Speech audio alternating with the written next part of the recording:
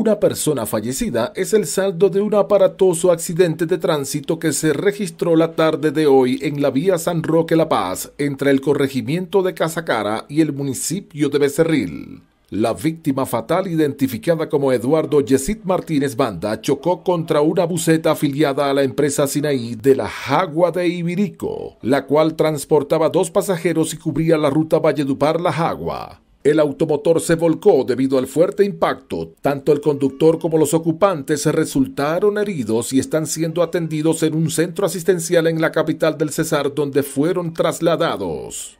De acuerdo a la hipótesis de la Policía de Tránsito y Transporte del Cesar, el siniestro ocurrió por invasión del carril contrario por parte de la motocicleta.